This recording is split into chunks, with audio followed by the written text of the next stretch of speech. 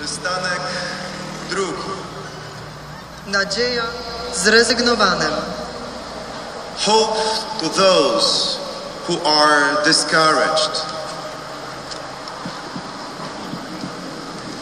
Istotą tej sceny jest stosunek młodych wobec cierpienia, śmierci i wojny. Życie, które daje nam Pan, jest najcenniejszym darem. Dlatego pokazujemy protest przeciwko okropieństwu wojny, żalu po stracie najbliższych oraz zderzenie z doświadczeniem tajemnicy śmierci.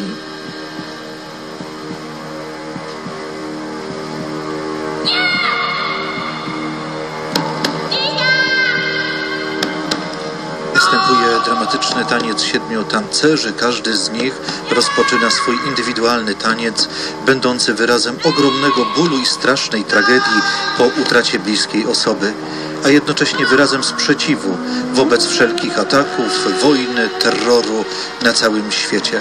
Siedem konty- kontynentów symbolizuje odmienność rasowa tancerzy Azjata, Afrykańczyk, Europejczyk.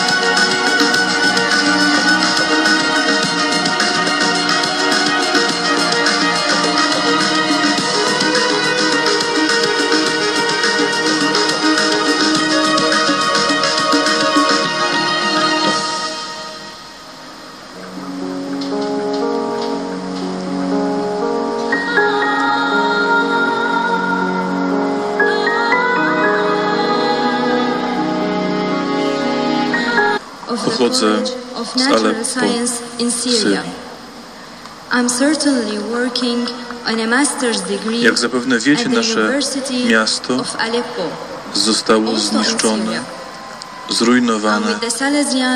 i złamane. Odebrano nam sens naszego życia. Jesteśmy miastem zapomnianym. ruined, and broken. The meaning in our lives has been cancelled.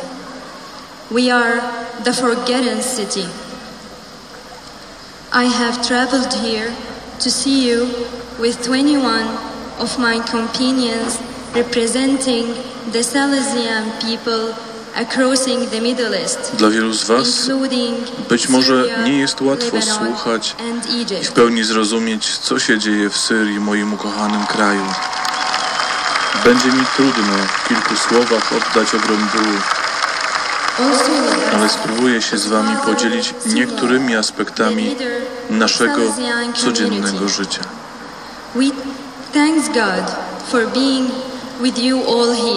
Dziękujemy Bogu, że możemy być z Wami dzisiaj tutaj. and understand the full breadth of what ha- is happening in my beloved country, Syria. It will be very hard for me to impart a life of pain to you in a few sentences.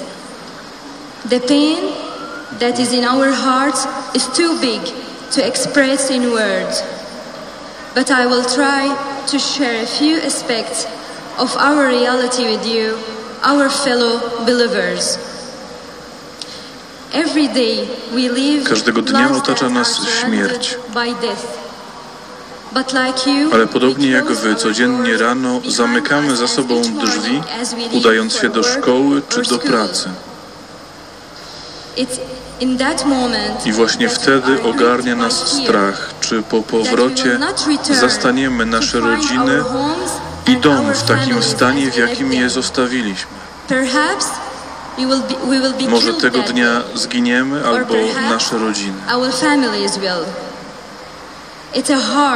Bardzo trudno żyje się z bolesną świadomością, że jest się otoczonym przez śmierć i zabijanie, no że nie ma stąd ucieczki, no znikąd nie ma pomocy. Boże, gdzie jesteś? have you forsaken us? Do Czy to możliwe, że to już koniec? Że urodziliśmy się, żeby umrzeć z bólu? Czy nie jesteś Bogiem miłości?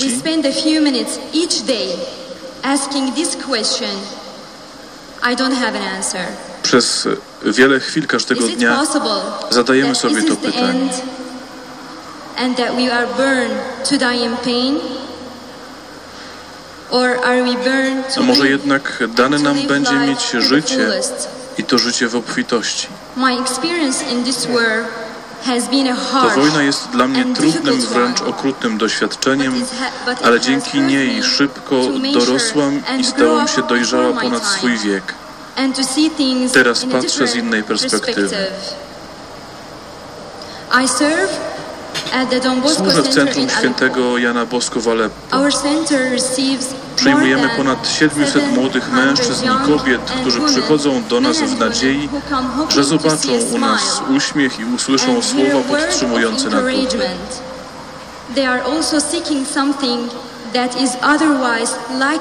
Szukają u nas również tego, czego nigdzie indziej nie dostaną.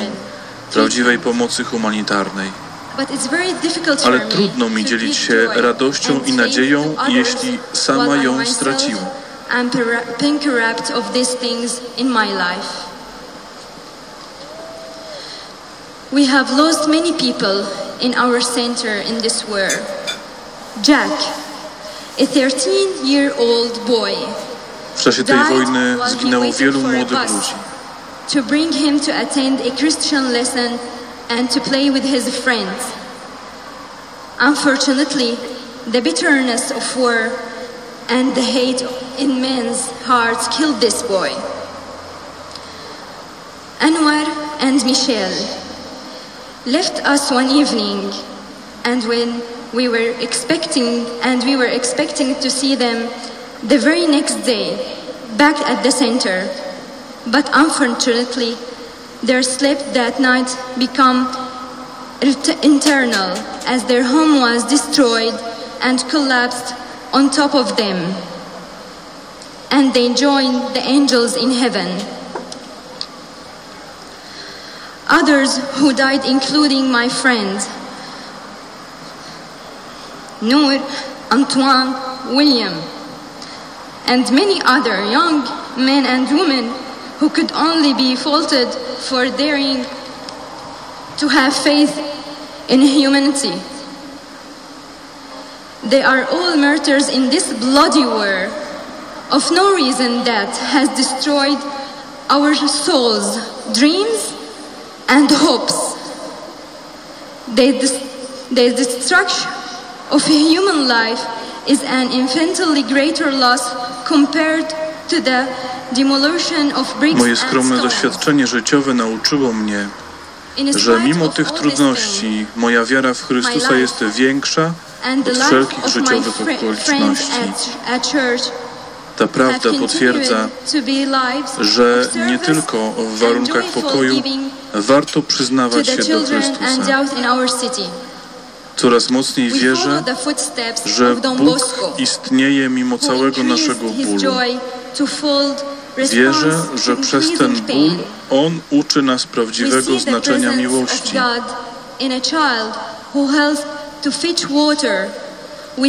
Moja wiara w Chrystusa jest źródłem mojej radości i nadziei. We see God in parents who don't give up Dzięki temu until they are able nikt to bring food to nigdy their children. nie będzie w stanie mi ukraść tej prawdziwej radości. Through my major life experience, I have learned that my faith in Christ supersedes the, the, the circumstance of life. This truth is not conditioned on living a life of peace that is free of hardship. More and more, I believe that God exists despite all of our pain. I believe that sometimes through our pain. He teaches us the true meaning of love. My faith in Christ is the reason for me, for my joy and hope. No one will ever be able to steal this true joy from me. In the end, I ask the resurrected Lord to grant me, everyone living in Syria, and people around the world, the grace to show a touch of mercy and plant joy in the heart of every wounded, sad, and abandoned person. This is the message for every Christian on the face of the earth. I thank you all. And I earnestly Dziękuję Wam ask you wszystkim i gorąco proszę o for my modlitwę country, za mój ukochany kraj, za Syrię. Jesus, I trust you. Jezu, ufam Tobie.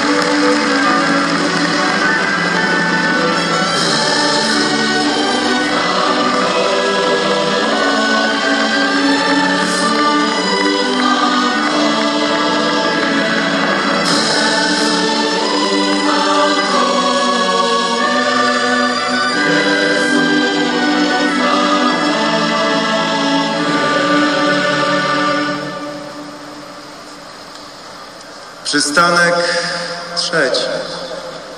Miłość oziębłem.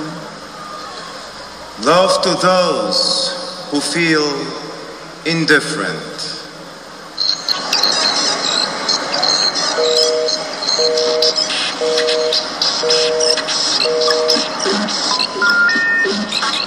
Istotą przesłania tej sceny jest problem współczesnej cywilizacji zamkniętej w cyberprzestrzeni. Młodzi uwikłani w nowoczesną technikę, zamknięci sami w sobie, wyobcowani, samotni w sieci.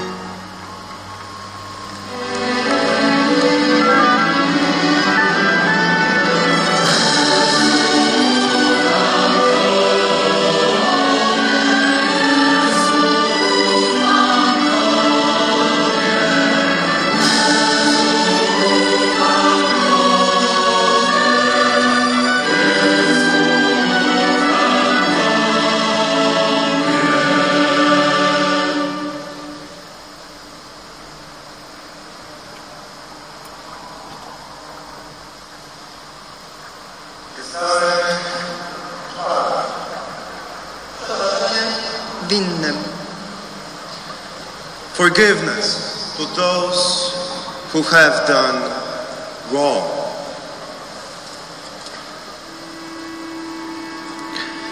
Istotą tej stacji jest przebaczenie bliźniemu, odrzucenie zła, a zarazem pojednanie.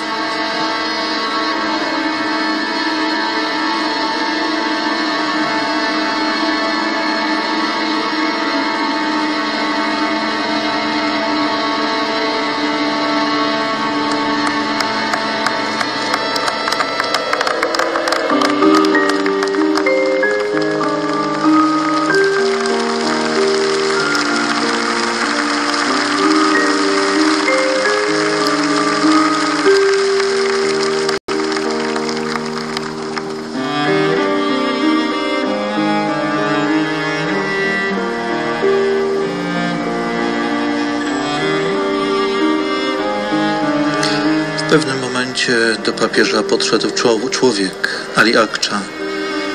Na tle muzyki trwa rozmowa. To nie ten papież, to nie tu, to nie teraz. Mężczyzna ucałuje papieża w rękę, a papież go przytuli.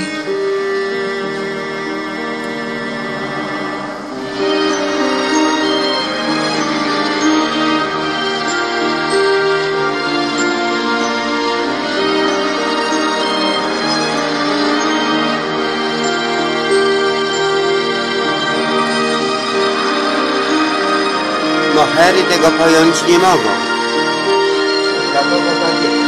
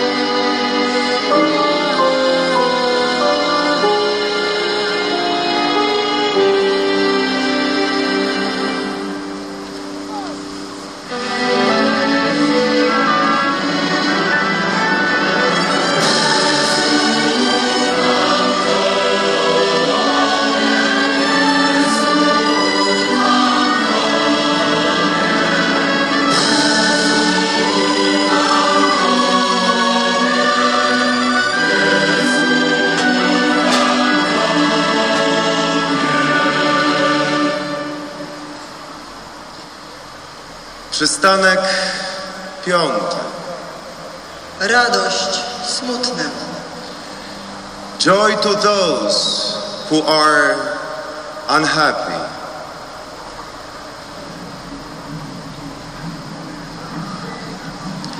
Istotą jest wskazanie na smutek wynikający z problemów, uzależnień i monotonii życia w dzisiejszym świecie.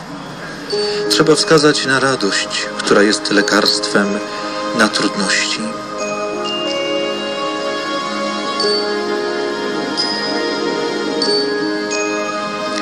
Scena przedstawia typowy zakątek małej uliczki, blokowiska, miejsce, gdzie spotykają się młodzi ludzie z marginesu społecznego, często z patologicznych rodzin.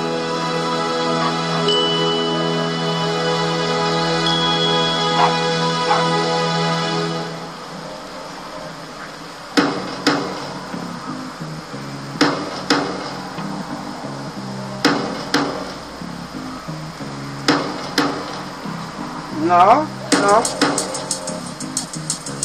Jadziesz? Dobra, bądź, czekam na ciebie, czekam, czekam. No, czekam, czekam, czekam, czekam, jadź, jadź.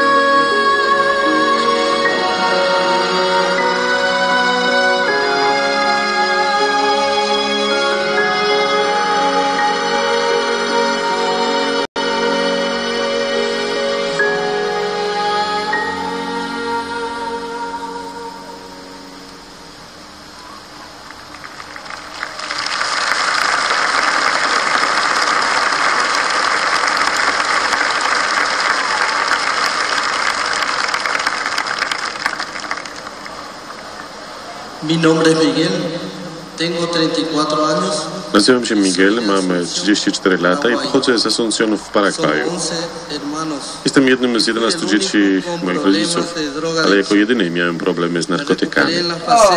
Przezwyciężyłem swoje uzależnienie w ośrodku Fazenda de la Esperanza San Rafael w Rio Grande do Sul w Brazylii. 13 años usé drogas. Przez 16 lat zażywałem narkotyki od 11 roku życia. Zawsze miałem trudności w relacjach rodzinnych, nie było między nami bliskości, ani nie czułem się kochany.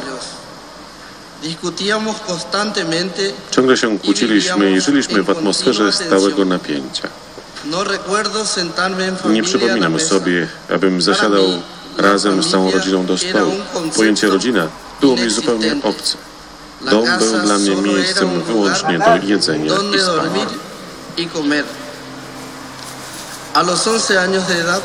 Dormir comer. A los 11 años de edad, Kiedy miałem de mi 11 casa, lat, uciekłem z domu, jako że pustka, którą nosiłem sobie, stała się nie do zniesienia. Chodziłem wtedy jeszcze do szkoły, ale pragnąłem wolności. Po kilku miesiącach zacząłem brać narkotyki i stał się to w drodze do szkoły. To jedynie pogłębiło moją wewnętrzną pustkę. Nie chciałem wracać do domu, skonfrontować się z moją rodziną, z samym sobą. Jakiś czas później porzuciłem szkołę i rodzice byli zmuszeni zamknąć przede mną drzwi rodzinnego domu. Tracili wszelką nadzieję. Estaban perdiendo la esperanza. A los 15 W wieku 15 lat popełniłem pierwsze przestępstwo i trafiłem do więzienia. Tam odwiedził mnie mój ojciec i zapytał, czy chcę się zmienić. Szybko powiedziałem tak. Sí. Rápidamente logró Szybko tramitar mi libertad. Uzyskał moją wolność, ale niedługo znowu zacząłem łamać prawo. Pe- Pewnego dnia popełniłem ciężkie przestępstwo i znowu poszedłem do więzienia, tym razem na 6 lat. Był to dla mnie okres wielkiego cierpienia. Nie, mo- nie mogłem zrozumieć, dlaczego nikt z mojego rodzeństwa mnie nie odwiedzał. Lata mija- mijały, odsiedziałem swój wyrok. Moi rodzice wciąż byli blisko kościoła. Miesiąc po wyjściu z więzienia pewien ksiądz, przyjaciel rodziny, zaprosił mnie do miejsca zwanego Fazenda de la Esperanza. Moje życie nie miało celu. Wszystkie te stracone lata odbijały się w moim spojrzeniu i na mojej twarzy. Przyjąłem zaproszenie Por primera i po raz pierwszy poczułem, co to znaczy rodzina. Z początku było mi bardzo trudno nawiązać relacje z ludźmi, żyć z nimi na co dzień. W tej wspólnocie metodą uzdrawiania jest Słowo Boże, życie tym. Słowem.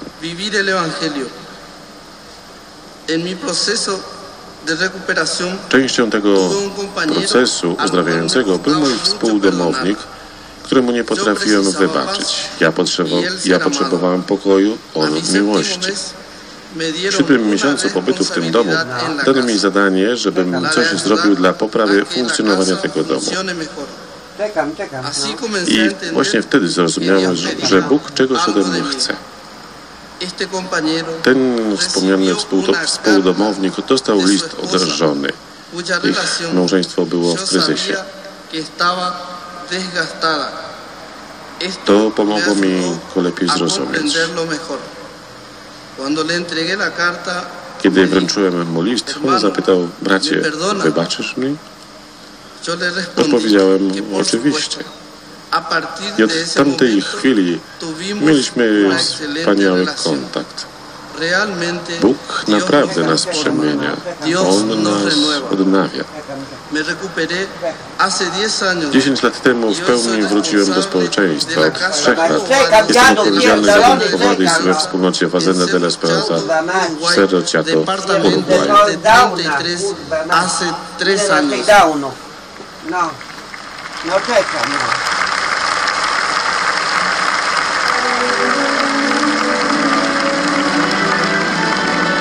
downu.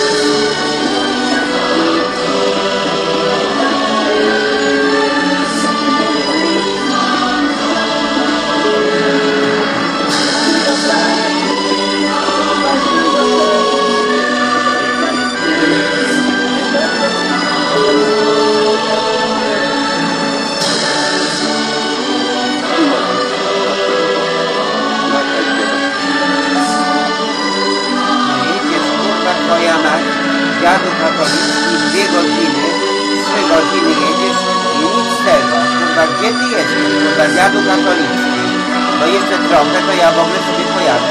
Spotkałam, skończyć kardynał, nie, no nie będę na ciebie czekał. A ty jesteś taki pierdolnięty, masz tyle tych downów, że ty nawet nie wiesz, co to jest godzina, no to ja nie wiem. No.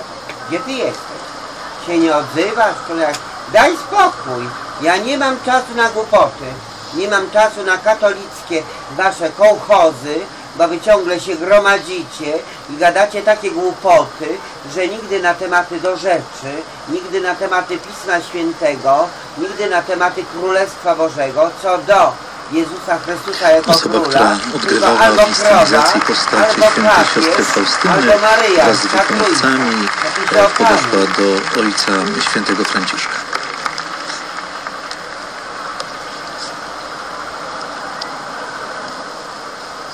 Abyście nigdy na ziemi nie nazywali nikogo ojcem, rabbi, ni, nauczycielem. No i teraz ten papież mówi, no, no, no, no, no.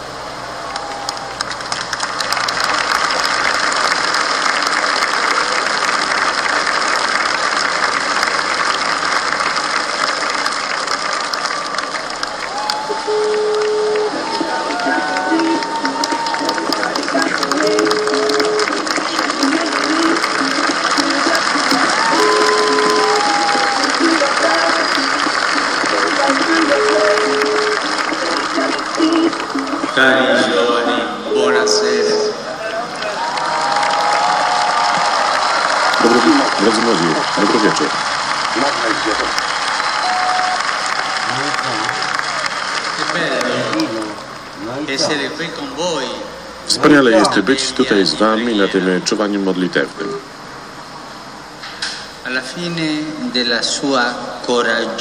Na zakończenie swego odważnego i poruszającego świadectwa rant Rand o coś nas poprosiła.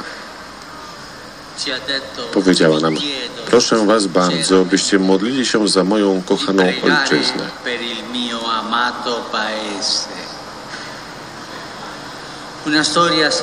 Historia naznaczona wojną, perdita, cierpieniem, utratą, kończąca się prośbą o modlitwę. Czy jest coś lepszego niż rozpoczęcie naszego czuwania od modlitwy?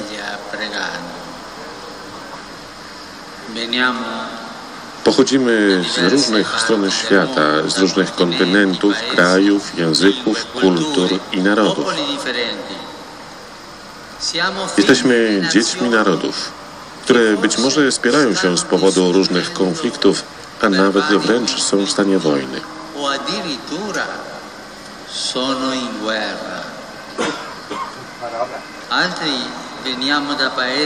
Przybywamy też z krajów, które mogą żyć w pokoju, które są wolne od konfliktów wojennych, gdzie wiele rzeczy bolesnych, które dzieją się na świecie, to tylko jakaś część wiadomości i artykułów prasowych. Ale jesteśmy świadomi pewnej rzeczywistości. Dla nas, tu i teraz, dzisiaj, pochodzących z różnych części świata, cierpienie, wojna, którą przeżywa wielu ludzi młodych, nie są już czymś anonimowym.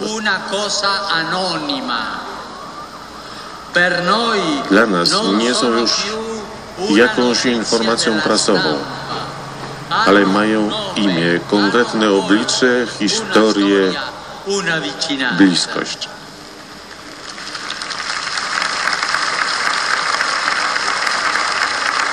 Oggi Dziś wojna w e Syrii dolore jest bólem i cierpieniem wielu osób, wielu ludzi młodych, jak dzielna Rand, która jest tu między nami i prosi nas o modlitwę za swoją ukochaną ojczyznę.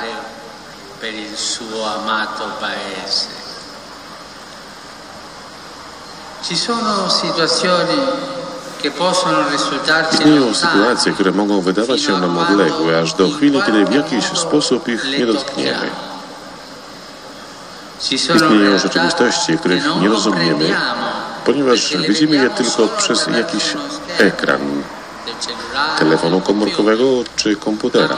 prendiamo Ale kiedy, nawiązujemy kontakt z życiem, z tymi konkretnymi istnieniami, które nie są już zapośredniczone przez ekrany,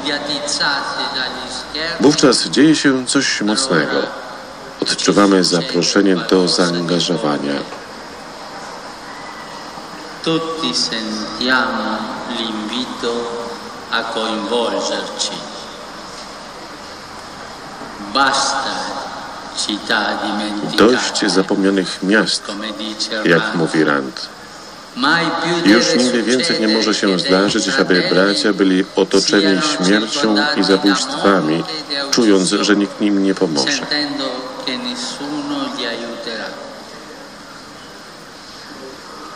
Cari amici,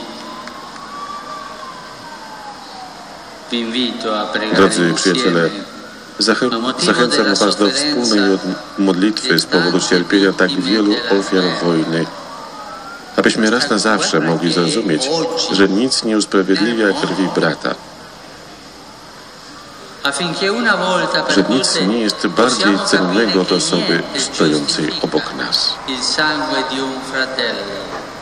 che niente è più prezioso della persona che abbiamo accanto. E A w tej prośbie o modlitwę pragnę podziękować także Wam, Natalio i Miguelu, bo i Wy podzieliliście się z nami swoimi bitwami i swoimi wojnami wewnętrznymi.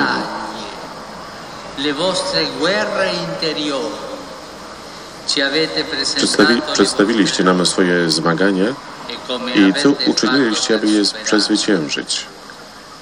Jesteście żywym znakiem tego, co miłosierdzie chce w nas dokonać.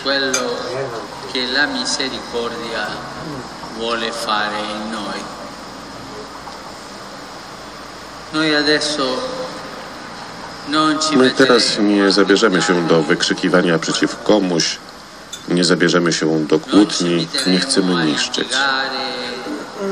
non vogliamo distruggere. Nie chcemy pokonać nienawiści większą nienawiścią. Przemocy większą przemocą. Pokonać terroru większym terrorem. E A nasza odpowiedź na ten świat w stanie wojny ma imię. Nazywa się si przyjaźnią.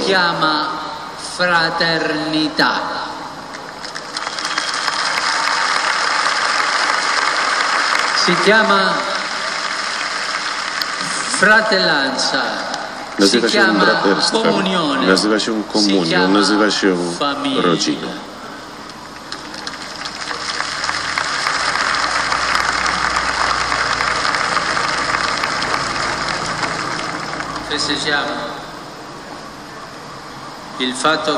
Świętujemy fakt, że pochodzimy z różnych kultur i łączymy się, żeby się modlić. Niech naszym najlepszym słowem, naszym najlepszym przemówieniem będzie zjednoczenie się w modlitwie. No Pozostańmy na chwilę w milczeniu i módlmy się. No. A Dio Stawiajmy przed Bogiem świadectwa tych przyjaciół, utożsamiajmy się z tymi, dla których rodzina jest pojęciem nieistniejącym, a dom je- jedynie miejscem do spania i jedzenia. La casa solo un posto dove dormire e mangiare. Lub też z tymi, któ- którzy żyją w strachu, przekonani, że ich błędy i grzechy definitywnie ich wykluczyły. li abbiano tagliati fuori definitivamente. Postawmy w Bożej obecności także wasze wojny, zmagania, które każdy niesie ze sobą w swoim sercu. le lotte che ciascuno di noi porta di sé nel proprio cuore. E per questo, per essere in famiglia, Aby być w rodzinie, w braterstwie, wszyscy razem, zapraszam Was, abyśmy się e pomodlili. Tutti. Wszyscy razem modlimy się w milczeniu.